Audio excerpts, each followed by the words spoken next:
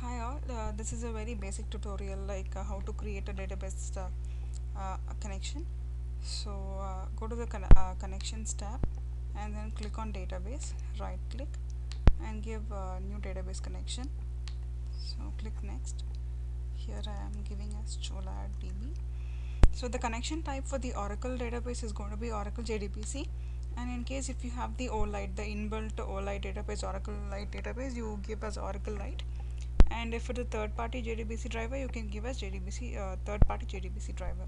So now I'm selecting as Oracle JDBC click next. The username will be apps. Password is apps. Give deploy password.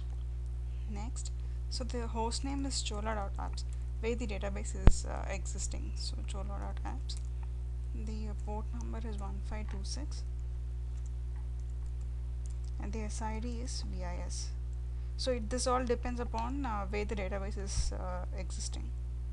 So give next and then test connection and it is success. So the, this is how you create the database connection and then click finish.